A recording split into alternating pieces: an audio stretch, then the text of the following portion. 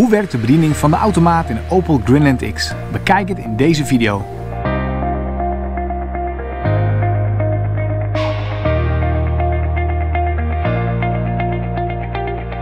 Hallo, mijn naam is Hendrik Liewes en ik ben werkzaam in ons familiebedrijf Opel Dealer en Roden. Nou, dit YouTube kanaal verschijnen video's met uitleg over een open systeem of met presentatie van een open model. Nou, bekijk je ons kanaal voor het eerst, van harte welkom, maar vergeet niet om abonnee te worden. Dit kost helemaal niks en zo krijg je als eerste bericht als wij een nieuwe video hebben geplaatst. Zoals ik al zei ga ik in deze video dus uitleg geven over de bediening van de automaat in de Opel Granite X.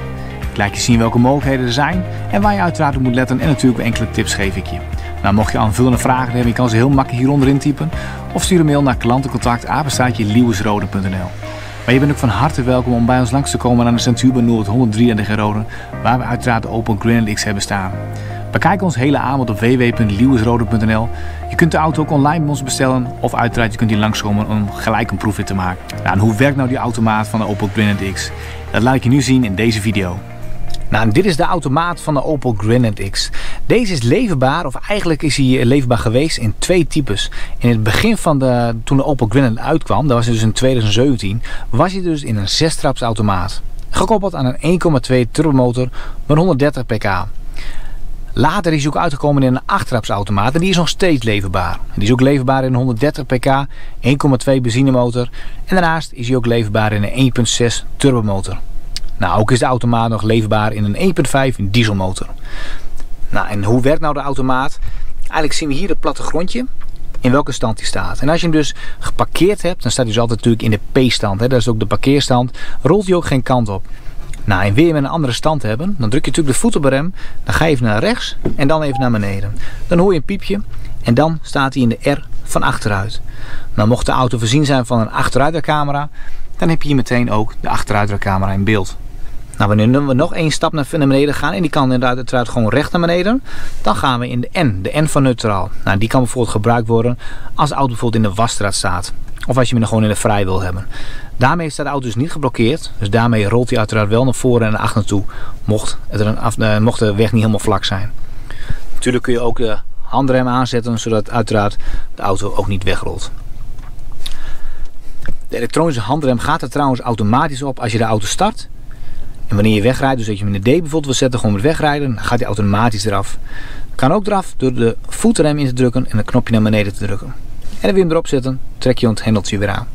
En wanneer we nog een verder naar beneden toe gaan, dan gaan we dus naar de D of de M stand.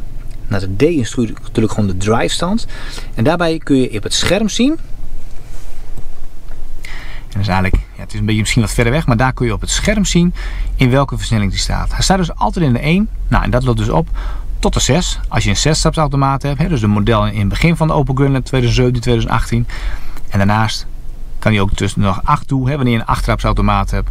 En dat zijn dus de wat nieuwere varianten. Mocht je een Granite op het oog hebben en uh, je weet niet of het nou een 6 of een 8 traps uh, automaat is, kun je me uiteraard altijd een berichtje sturen via onderstaande reacties of naar klantencontact apenstaatje zodat ik uiteraard dit voor jou kan uitzoeken aan de hand van het sessienummer of kenteken. Maar zoals ik al zei is er dus ook nog een M-stand, een manual stand. En die kunnen we inschakelen door deze naar links toe te drukken. Dat kan om tijdens het rijden, hè, dat je dus naar de D en naar de M-stand wil doen. De M-stand die staat dus voor manual. En daarmee kun je dus eigenlijk een versnelling omhoog en een versnelling terug. Nou, voor normaal gebruik uh, zie je natuurlijk dat het niet heel veel gebeurt. Want daarvoor ja, kies je natuurlijk geen automaat. Maar het kan heel handig zijn als je bijvoorbeeld in de bergen bent. En je bijvoorbeeld met een caravan of aanhanger. En je zegt van ik wil toch iets verder die toeren in. Zodat je zelf dat kunt schakelen. Dus dat, daarvoor is eigenlijk de M-stand, de manuele stand. Nou, wanneer ik bijvoorbeeld in de D-stand heb staan en ik wil de auto afsluiten. Is het allermooiste om eigenlijk gewoon omhoog toe te gaan. En dat is een beetje als je naar rechts toe, uh, toe aanhoudt. En dan staat weer in de P. En je kunt het altijd nog zien hier in de controleletter daar om hem dan uit te zetten. Uiteraard is het ook nog een andere manier, alleen ja, die is iets omslachtiger. Dat wil zeggen, als je hem gewoon in de D-stand hebt staan, zoals nu. En je zou zeggen van nou, ik zet de auto eerst uit en dan schakel ik hem in de P. Wanneer ik dat niet doe, dus ik zal de auto, of ik zal hem niet in de P zetten.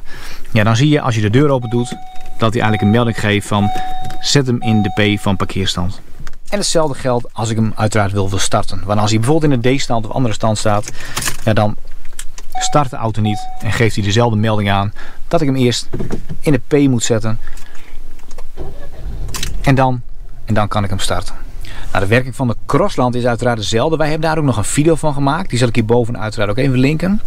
En wanneer je nou een Granite Hybrid hebt, dus, hè, dus de hybride versie, dan heeft hij een andere automaat.